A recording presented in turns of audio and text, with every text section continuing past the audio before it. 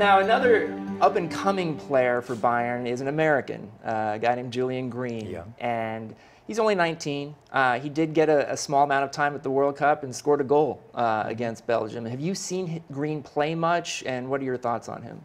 Yes, uh, I saw him playing some games in our youth teams, in the different ones.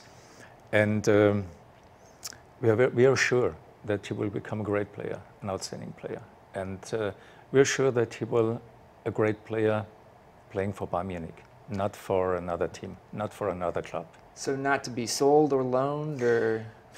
This is for the moment no solution. So we're happy yeah. to have him, and I think he can learn a lot by watching Ribery, by watching Lewandowski, Philipp Lahm, and all our superstars, and uh, learning for one or two years. Mm-hmm. I think uh, Uh, this will be the right way for him.